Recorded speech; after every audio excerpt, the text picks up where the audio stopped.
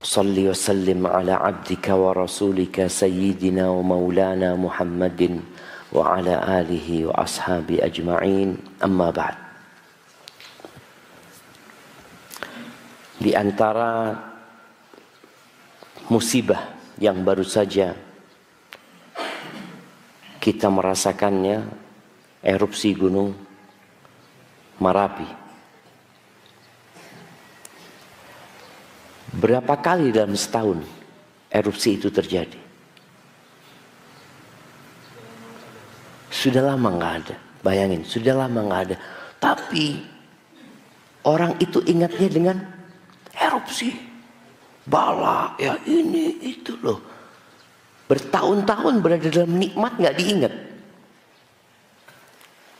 Maka Allah katakan wa qalilun min ibadiyas syakur. Sedikit dari hambaku yang pandai bersyukur.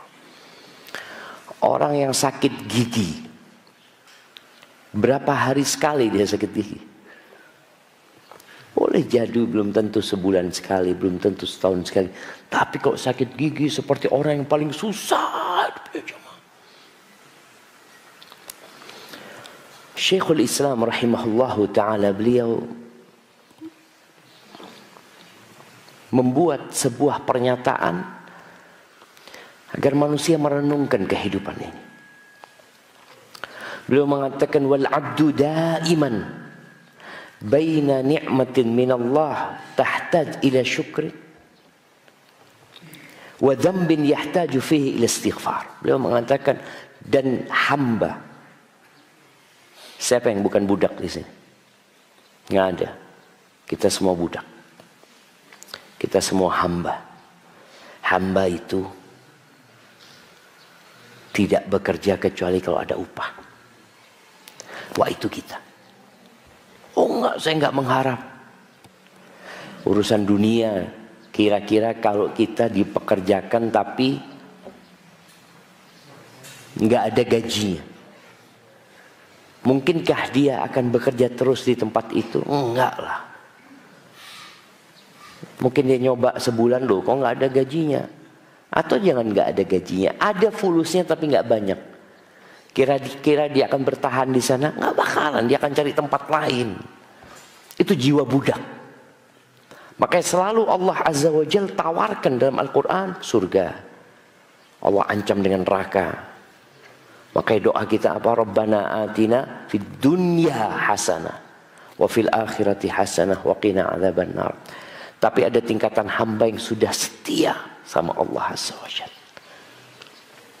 Tapi dan hamba ini selalu hidupnya itu selalu di antara nikmat yang Allah berikan kepada dia yang itu memerlukan syukur dari dia.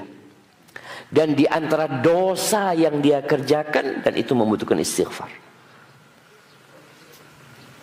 Beliau kok tidak menyebutkan musibah? Karena dalam musibah pun ada nikmat. Musibah itu datang untuk apa? Mengangkat derajat, menghapuskan dosa. Artinya sampai dalam musibah itu pun nikmat. Maka beliau mengatakan hamba itu selama-lamanya sebenarnya. Daiman. Di antara nikmat yang perlu disyukurin atau dosa yang perlu istighfar. Maka tatkala seorang hamba terkena musibah, itu tingkatan paling puncak menghadapi musibah itu apa? Syukur. Jadi tingkatan pertingkatan yang paling rendah yang gak, yang yang dosa itu namanya jaza. Tidak marah-marah atas musibah yang menimpa. Dia nggak sabar, nggak bisa nahan diri. Kelihatan dari omongannya, kelihatan dari komentarnya, kelihatan dari kelakuannya ngelempar ini, ngelempar itu. Dia tingkatannya jaza. Tingkatan yang paling rendah di atas itu adalah sabar. Yang naik lagi namanya ridho. Puncaknya adalah syukur. Karena orang kalau mau merenungkan musibah itu ya Allah ternyata nikmat musibah ini ya. Berapa banyak orang yang sebelumnya tidak pernah menghatamkan Al-Quran Gara-gara kena musibah hatam Quran. Karena dia harus di rumah sakit, opnam, nggak ada yang nemenin, maka Quran menjadi teman dia. Masya Allah. Nikmat apa enggak? Nikmat. Wa kullun min hadzain min al-umur lazima lil 'abdi dan ini selalu dihadapi oleh manusia. Fa innahu la yazalu yataqallab fi ni'amillah wa ala'ihi. Dan manusia itu selalu dia berguling-guling di antara nikmat Allah Azza wa Jalla. Ketika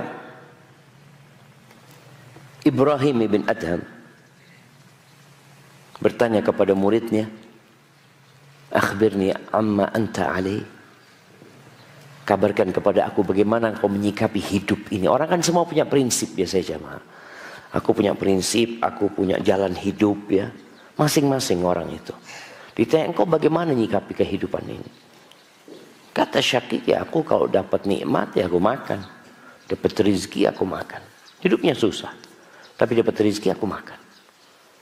Tapi kalau aku dihalangi dari rezeki ya aku sabar. Itu sikap mungkin menurut sebagian orang ya bagus lah. Artinya ketika engkau nggak dapat rezeki, nggak sampai mencuri, ya, nggak sampai mengambil hak orang lain, nggak sampai makan haram. Ya. Kata gurunya Ibrahim mengatakan, Hakada ta'malu kilabu balkhin inda. Dia mengatakan, lo anjing-anjing di balakh itu kayak gitu juga. Sama. Kau lihat anjing itu. Dia lemparin daging dia makan. Lemparin tulang, bangkai dia makan. Kalau nggak ada yang ngelempar, nggak ada yang ngasih, ya dia diem aja. Mungkin menjulurkan lidahnya. Sabar dia. Muridnya sadar, kayaknya salah dia ini. Lalu dia tanya, kalau engkau gimana?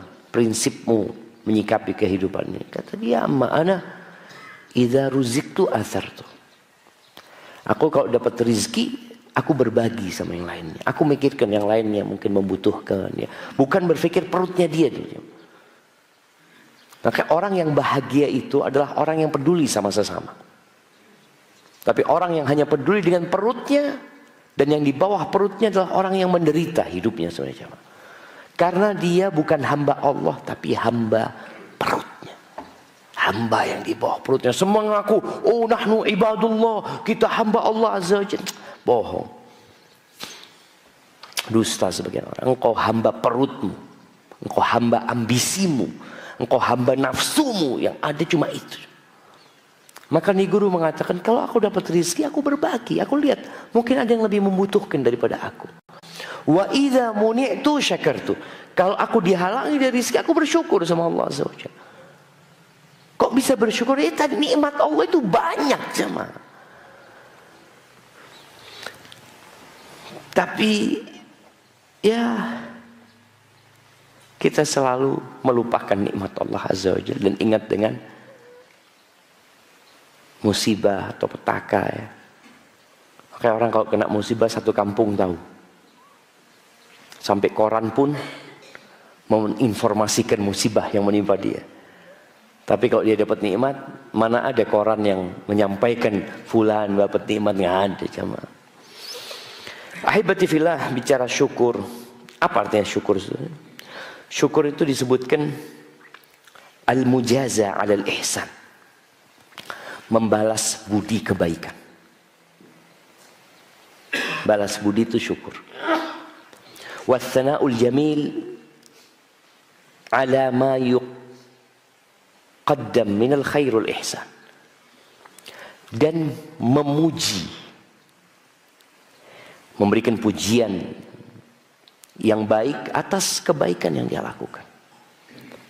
Jadi ada perbedaan antara syukur sama alhamdu.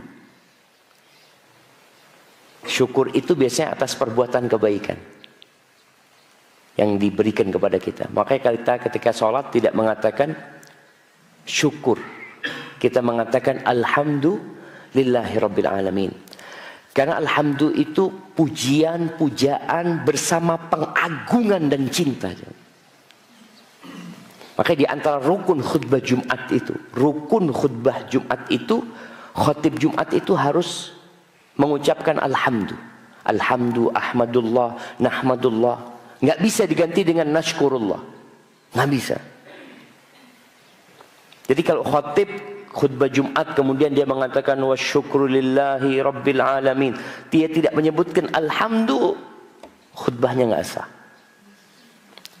Karena memang alhamdu itu pujian-pujian yang penuh pengagungan ma'at ta'zim lillahi tabaraka ta'ala maka kepada manusia kita nggak nggak sampai mengagungkan dia kita cuma mengatakan terima kasih ya syukron ya tapi kalau pengagungan enggak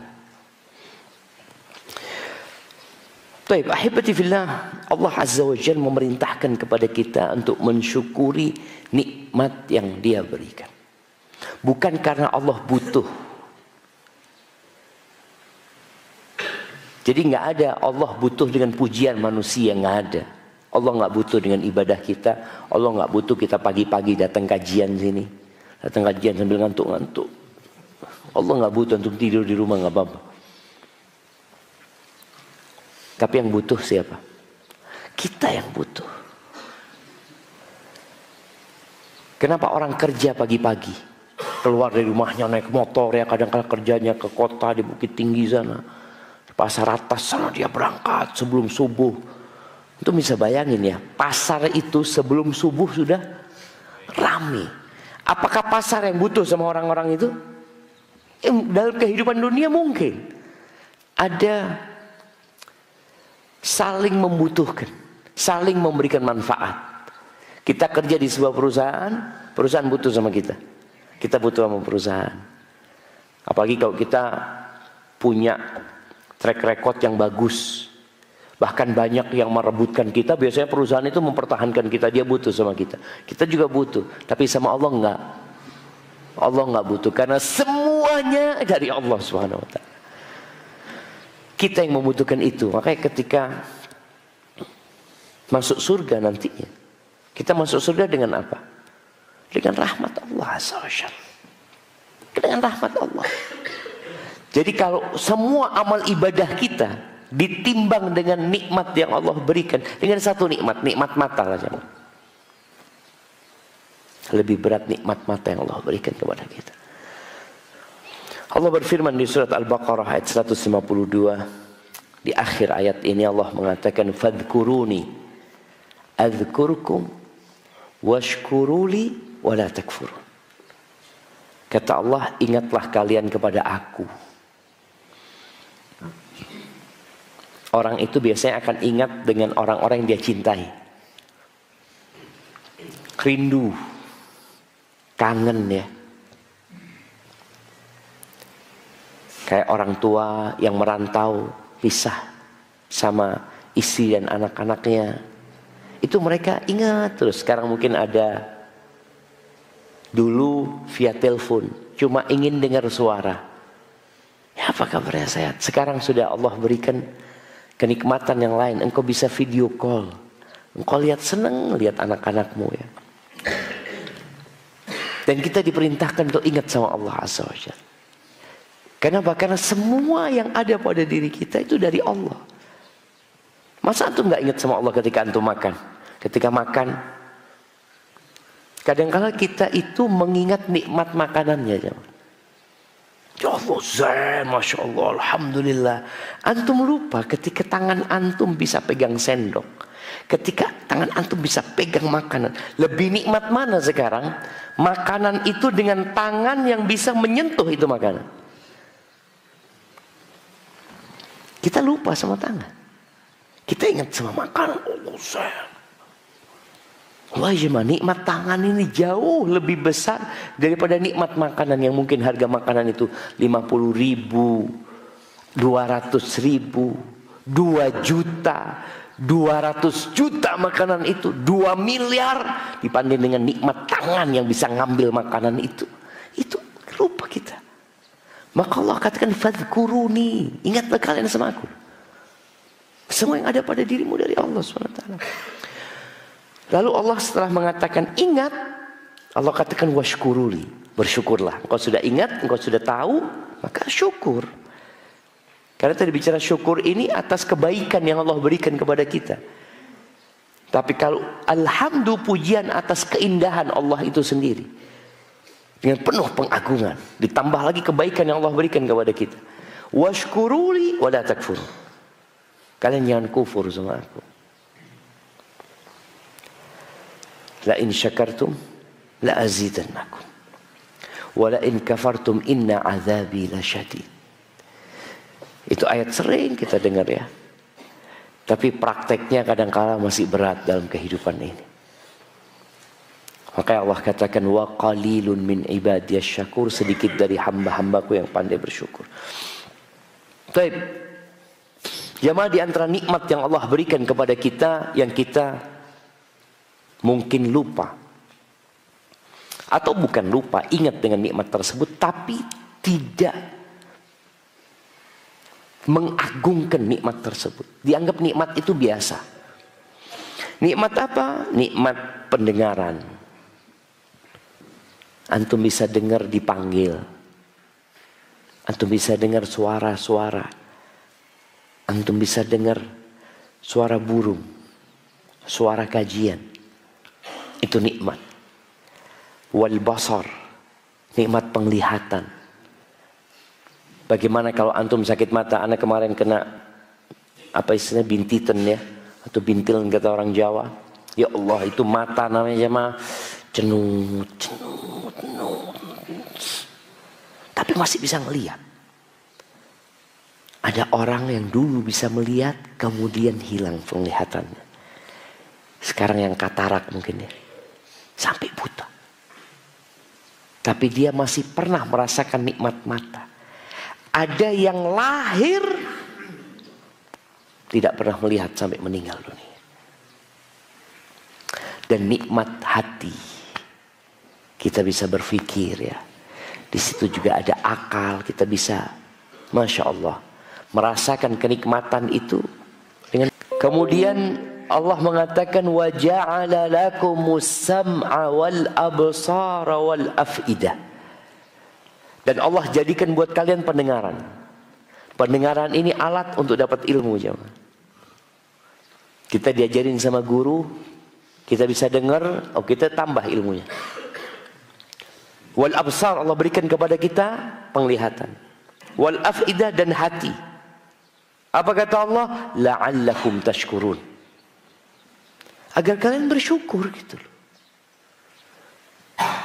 Kita perlu mengingat masa kita keluar dari perut ibunda kita yang kita bukan hanya nggak bisa apa-apa cuma.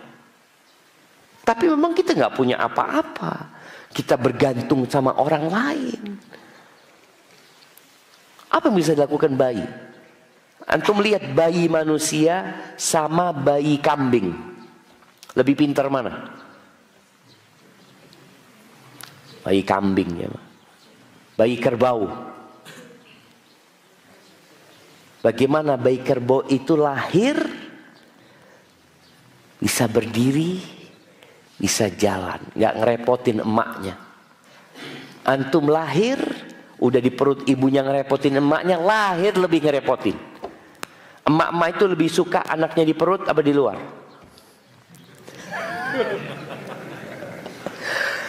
Ketika anaknya di perut, di ke mana-mana nggak ada urusan. Tapi anak-anak itu juga capek. Ketika keluar ke dunia ini. Sampai ada satu orang ditanya, engkau masa hidupmu yang paling nyaman itu kapan? Kata, sembilan bulan waktu di perut ibuku kata dia. Makan, minum, semuanya gratis. Tidak ada apa-apa, buang kotoran apa, semuanya aman. Ketika keluar, dia capek. Bayi ini capek. Emaknya capek, bayinya lebih capek. Tadi ya. Maka Allah sebutkan. Supaya kita pandai mensyukur nikmat Allah. Kalian keluar dari perut ibunda kalian, kalian nggak tahu apa-apa. La ta'lamuna syai'an. Duduk nggak bisa, ngomong nggak bisa. Bahkan bayi itu disebutkan yang pertama Matanya itu belum bisa ngelihat. Perlahan-lahan mata itu semakin sempurna, semakin sempurna. Makanya kadang-kadang kalau untuk melihat matanya bayi itu, ya Allah indah banget. Dia belum bisa melihat secara sempurna. Pendengarannya yang lebih dulu daripada penglihatannya. Maka Allah sebutkan wa ja'ala lakumus sam'a. Dan dia menjadikan buat kalian pendengaran sebelum penglihatan. Jadi kupingnya itu bisa dengar sudah. Pelan-pelan, maka ibunya kalau baca Quran ya dengan menyusuin, ibunya ngobrol ya ini itu, dia mulai ya mak. Apa kata Allah? La'allakum tashkurun agar kalian mensyukuri nikmat yang Allah berikan. Orang yang paling miskin pun di dunia ini dibandingkan dengan orang yang paling kaya di dunia tapi kena stroke nikmatnya lebih banyak mana? Orang yang paling miskin di dunia, sehat, bugar, dibandingkan dengan orang yang paling kaya di dunia, yang mungkin kekayaannya sampai 3000 triliun tapi dia kena stroke. Naik kursi roda. Kalau bicara nikmatnya lebih lebih banyak mana nikmat Allah? Kepada orang yang miskin ini jemaah. Tapi dia nggak sadar kan?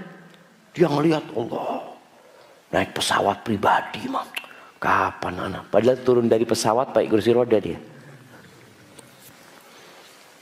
Kita lupa jemaah. Maka Allah ingatkan selalu dengan nikmat yang Allah berikan. Hanya saja manusia itu memandang dunia ini adalah nikmat yang paling agung. Tingkatan nikmat, para ulama ketika berbicara tentang tingkatan nikmat yang Allah berikan, tingkatan rizki. Yang paling rendah itu harta. Yang paling tidak berharga atau yang paling nilainya paling rendah itu harta. Di atasnya harta apa? Sehat.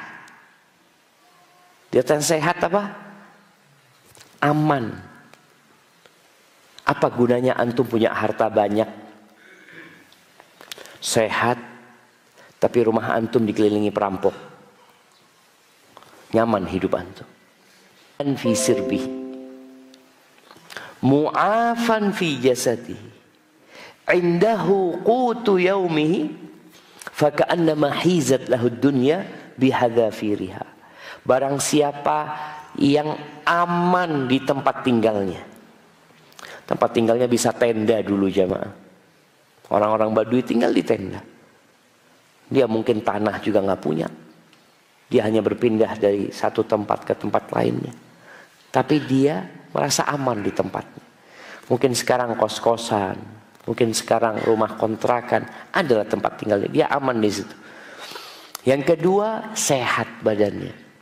Yang ketiga yang terakhir disebutkan, dia punya yang dia makan hari itu. Hari itu saja. Tidak berpikir besok.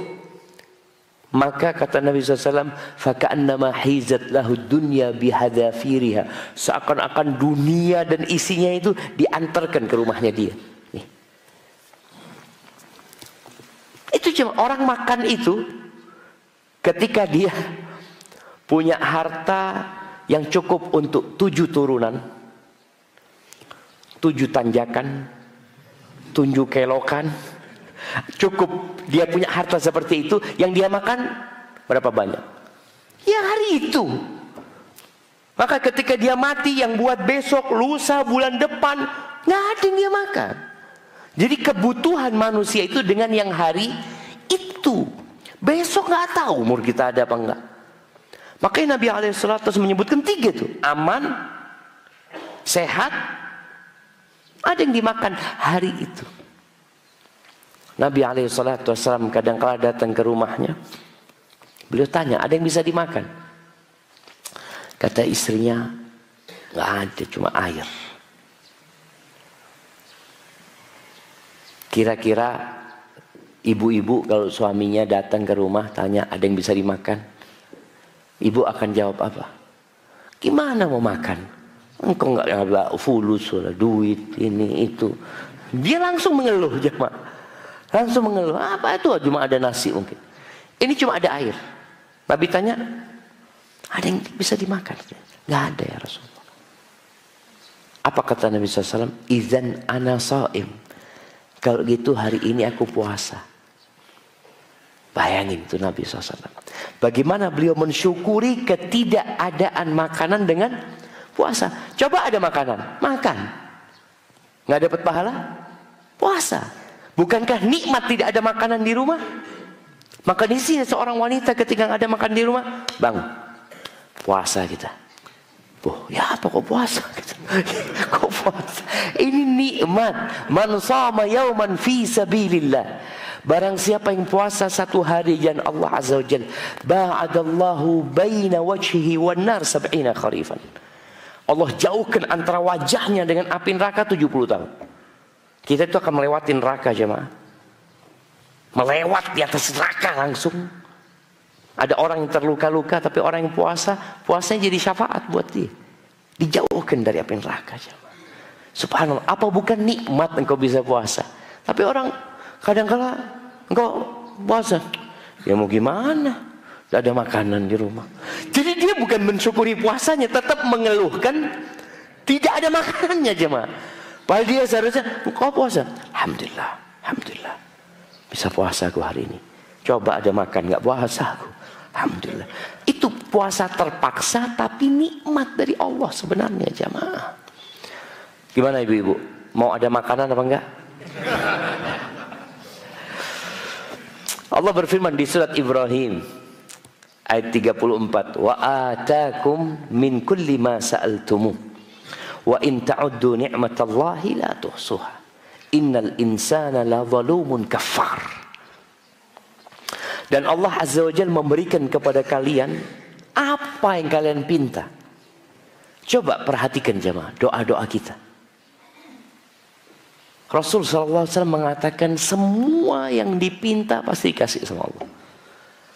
Tapi jawaban dari apa yang kita pinta itu tiga. Dikasih langsung. Atau yang kita pinta nggak dikasih tapi kita dikasih sesuatu yang lain. Yang lebih kita butuhkan. Kita diselamatkan dari musibah yang menimpa kita.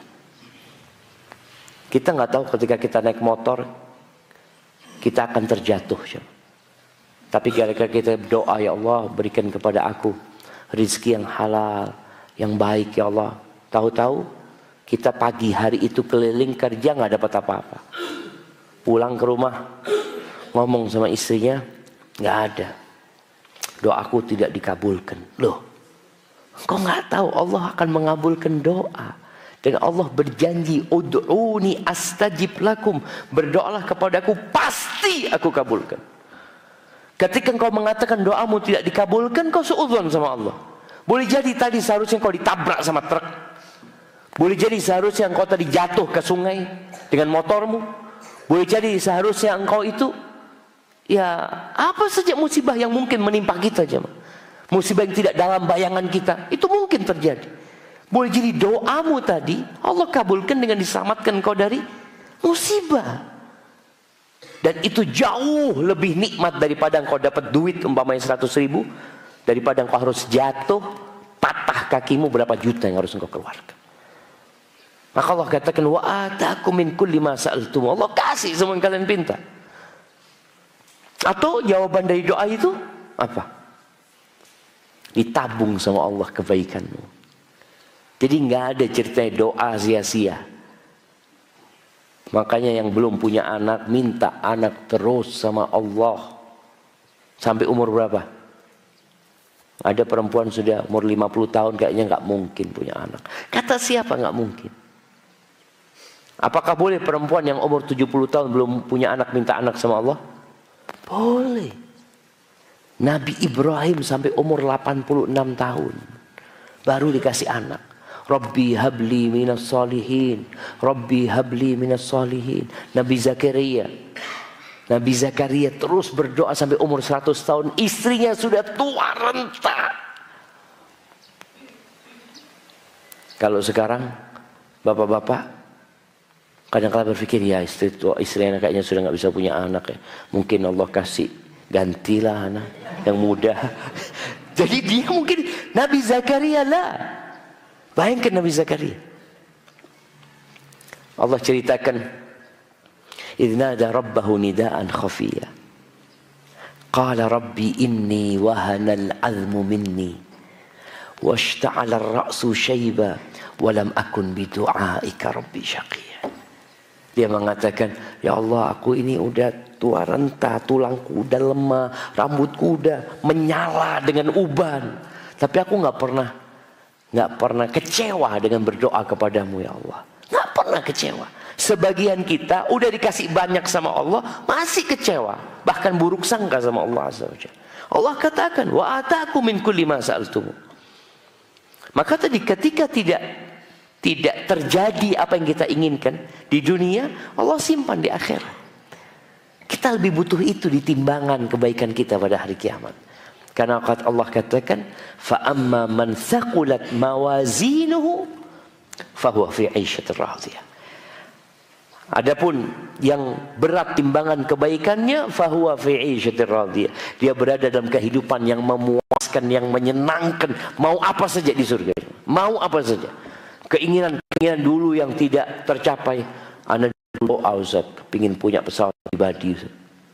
Sampai mati nggak dapat. Di surga antum mau pesawat pribadi. Kasih. Ada seorang sahabat yang datang kepada Nabi SAW. Dia mengatakan, Ya Rasulullah, fil jannati faras. Rasulullah, alaikas salatu wassalam Rasulullah. Di surga itu ada kuda enggak ya? Ini orang senang sama kuda. Hobi naik kuda hobi pelihara kuda. Bagus bagus mungkin dia punya kuda. Cuma dia berpikir di surga ada enggak ya? Itu. Dia berpikir dunia ini jauh lebih indah daripada surga. Apa kata Nabi SAW? Ida udkhiltal jannah. Kalau engkau dimasukkan ke surga. Atau idza dakhaltal jannah. Utita bi farasin min yakutatin hamra. Akan dibawa kepadamu, akan diberikan kepadamu kuda yang terbuat dari permata yang warnanya merah. Lahu janahan. Yang punya dua sayap. Kita hanya menghayal di dunia kita punya sayap itu hanya gambar orang apa. Ini hakiki. Yati rubika itu yang dia terbang ke mana pun engkau mau. Payahnya mah. Oh, milih punya pesawat pribadi apa kuda terbang? Antum pesawat pribadi. Harus ngisi siapa? ngisi afur harus cari bendara. Apa? Ini kuda yang tercipta dari permata yang warnanya merah. Kalau dari daging itu butuh makan butuh minum ya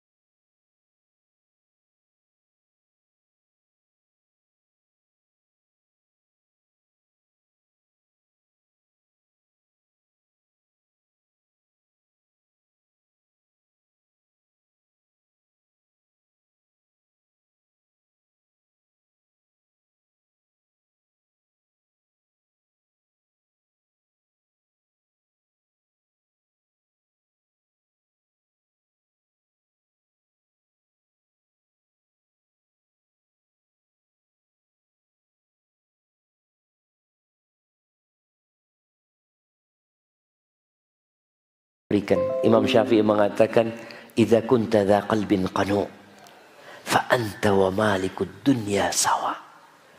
Kalau engkau punya hati yang bersyukur, engkau dengan raja yang menguasai dunia ini sama aja. Kemudian jamaah di surat An-Nahl ayat 18. Ayat ini mirip dengan ayat yang baru saja kita baca di surat Ibrahim ayat 34.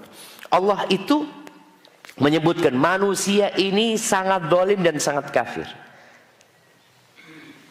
Maka Allah membuka pintu maaf buat hambanya. Pintu ampunan buat hambanya. Hambanya yang jarang bersyukur ini, yang zalim ini. Apa kata Allah? Wa in ta'uddu ni'matallah la tuhsuha. Kalau kalian tidak menghitung nikmat yang Allah berikan, kalian tidak akan dapat menghitungnya. Penutup ayatnya berbeda. Kalau di ayat 34 Ibrahim itu cerita tentang manusianya, tapi di ayat An-Nahl 18 ini cerita tentang Tuhannya. Apa kata Allah? Innallaha la ghafurur rahim. Sesungguhnya Allah itu maha pengampun dan maha pengasih. Bagaimana manusia yang tidak mensyukuri nikmat Allah lalu kembali kepada Allah lalu minta maaf sama Allah, Allah ampuni. Maka orang yang membunuh 100 orang, 100 orang dia bunuh. Allah ampuni nggak ketika dia kembali kepada Allah? Allah ampuni siapa? Seorang wanita yang hamil dari hasil zina diampuni sama Allah Azza wa ketika dia bertobat kepada Allah Azza wa Ya ibn Adam, lau balagat dhunubuka ananas sama. Wahai anak Adam, kalau dosamu itu sampai ke awan-awan. Thumma ataitani la tusyriku bi syai'an.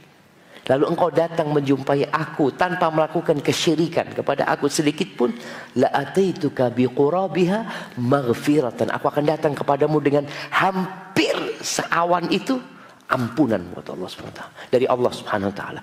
Maka di sini hendaklah kita berusaha mensyukuri nikmat Allah. Ahibati fillah, siapa orang yang layak mendapatkan predikat asyakir atau syakur, orang yang pandai bersyukur. Karena setan targetnya wala tajidu aktsarahum syakirin. Engkau akan mendapatkan kebanyakan mereka tidak melayak mendapatkan predikat syakir. Dan Allah katakan wa qalilun min ibadiyas syakur dan sedikit dari hambaku yang dapat predikat asyakur. Ahibati fillah. Orang yang paling berhak mendapatkan predikat syakirun, syakirin atau syakur itu para nabi. Para nabi. Dan bagaimana para nabi itu berusaha untuk mencapai predikat itu.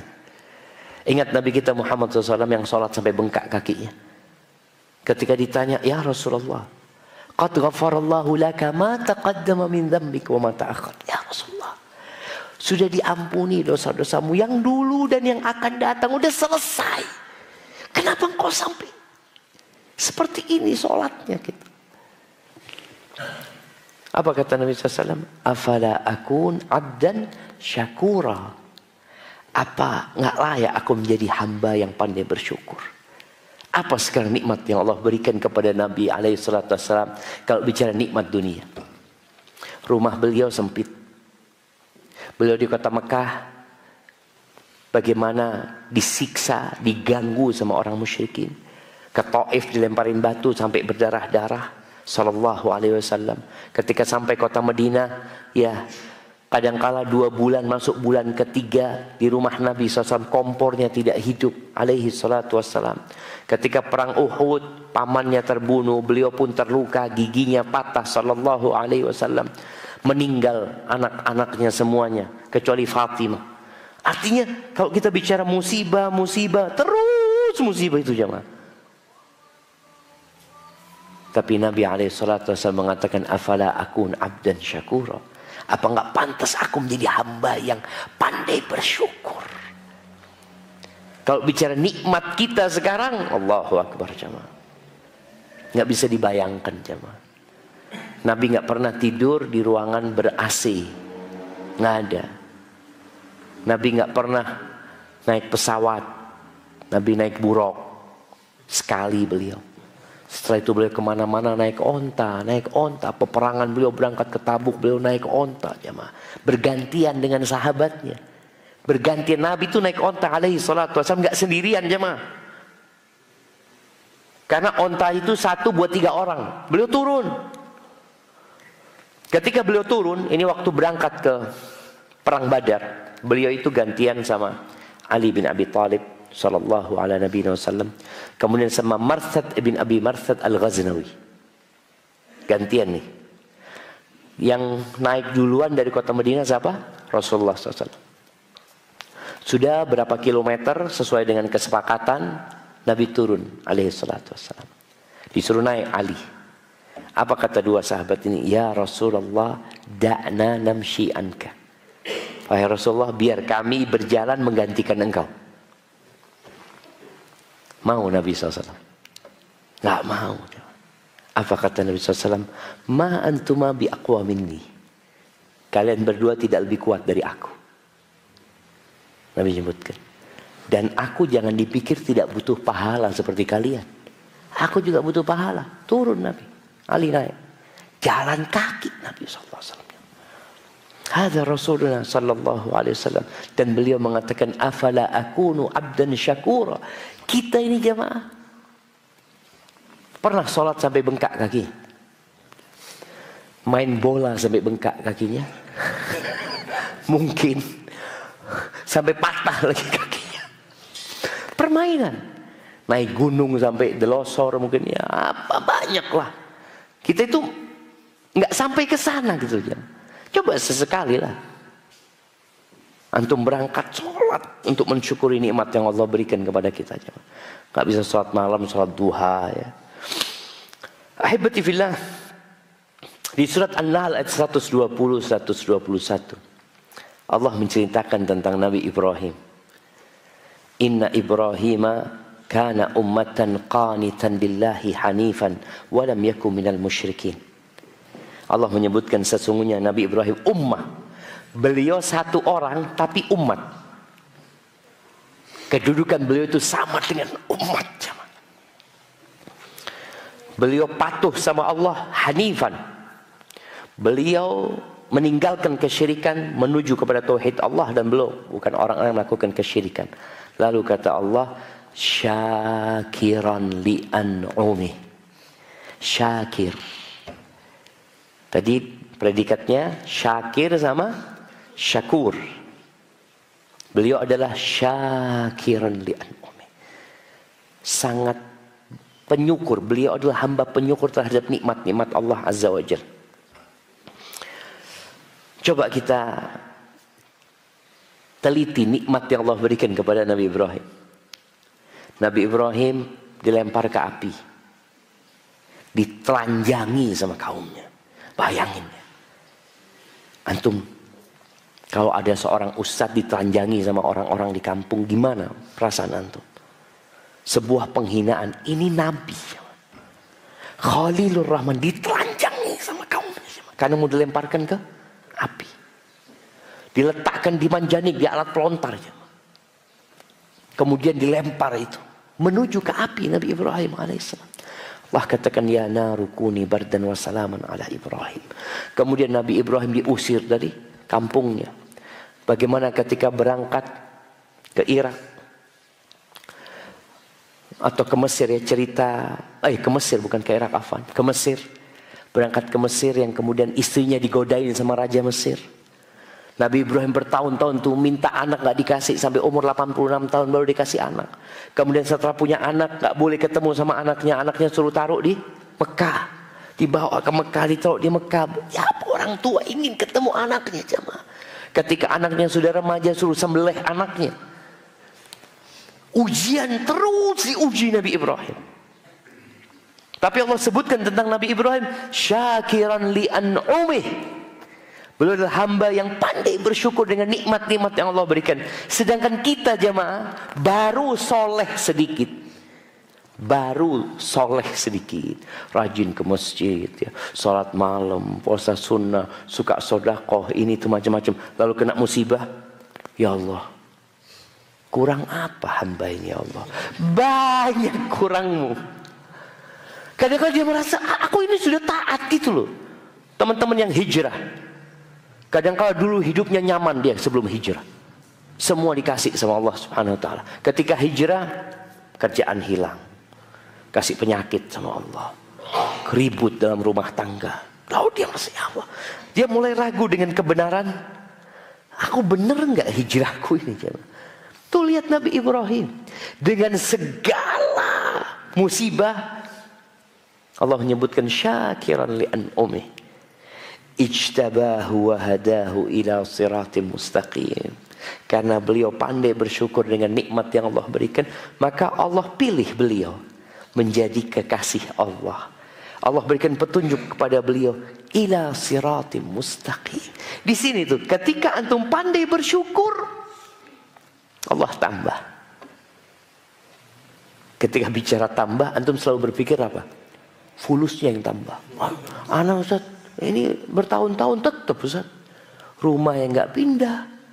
Motor dari dulu nggak ganti, katanya ditambah. Tambahan itu boleh jadi bentuknya nikmat yang paling tinggi ditambah imannya. Ditambah ketakwaannya. Tadi kita bicara tuh tingkat nikmat yang Allah berikan harta itu yang paling rendah. Kalau antum cuma ditambahi harta, boleh jadi harta itu mengantarkan kepada kekufuran. Tapi ketika antum ditambah imannya, alhamdulillah. Ana dulu nggak pernah sholat malam Ustaz. Sekarang alhamdulillah bisa sholat malam. Ana dulu nggak pernah baca zikir pagi dan petang. Sekarang alhamdulillah ana baca zikir. Ini nikmat loh. Ini tambahan nikmat dari Allah. Cuma kita kadang-kadang nggak mensyukurinya. Itu Nabi Ibrahim yang dikasih predikat sama Allah syakir. Kemudian Nabi Nuh di surat Isra Ayat 3 Allah mengatakan dzurriyyata man hamalna ma'anu innahu kana 'abdan syakura. Sesungguhnya tuh Nabi Nuh adalah hamba yang pandai bersyukur. Jadi kalau level syakir sama syakur itu lebih tinggi syakur sebenarnya. Syakur. Dia ya Allah jemaah Nabi Nuh bayangin ya. Beliau berdakwah berapa tahun? 950 tahun. Capek beliau jamaah. Menghadapi kaumnya itu. Kaumnya itu kalau didakwain sama Nabi Nuh udah, udah kurang ajar sekali.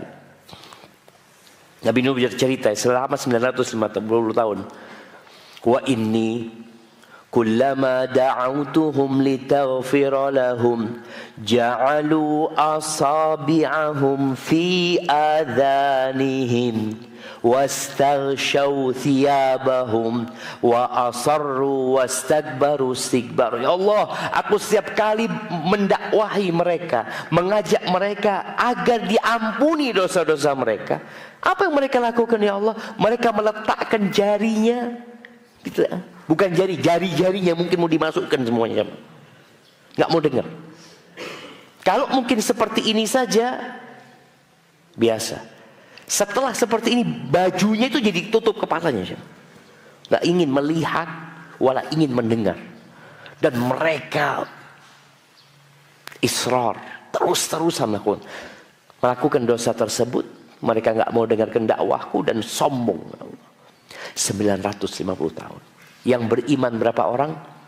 Wa ma amana ma'ahu illa qalil. Tidak beriman kepada beliau kecuali sedikit.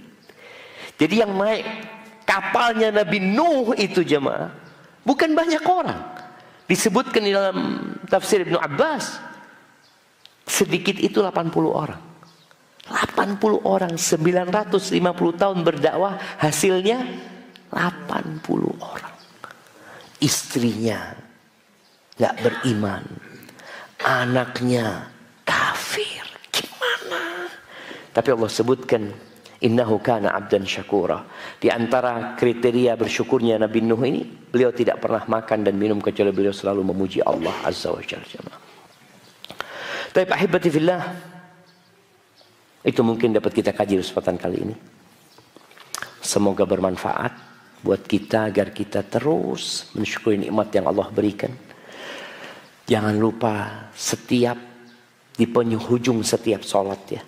Sebelum salam.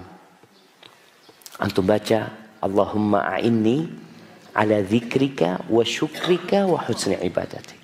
Ya Allah bantulah aku untuk senantiasa mengingatmu. Bersyukur kepadamu, beribadah yang baik kepadamu. Kalau lupa baca sebelum salam, baca sesudah salam nggak apa-apa. Untuk baca Allahumma a'inni ala zikrika wa syukrika wa husni ibadatik. Kemudian yang kedua, buat yang sudah berumur, yang sudah umur 40 tahun ke atas ini, syukurnya harus nambah. Allah sebutkan di surat Al-Ahqaf ayat 15 ya. Allah menyebutkan hatta idza balagha ashuddahu wa balagha arba'ina sana qala Orang ini kalau sudah sampai puncak masa mudanya, sampai umur 40 tahun, dia berkata, Rabbi, auzi'ni an ashkura ni'mataka allati an'amta alayya wa ala walidayya wa an a'mala salihan tardah wa aslih li fi dhurriyyati inni tubtu ilaika wa inni minal muslimin. Artinya dilihat nanti. Dibuka Qurannya surat Al-Ahqaf ayat 15 tuh itu orang yang umur 40 tahun sudah yang lebih itu hendaklah baca itu sering-sering baca itu itu sama juga minta dibantu supaya bersyukur atas nikmat yang Allah berikan. Wa astaghfirullah li wa lakum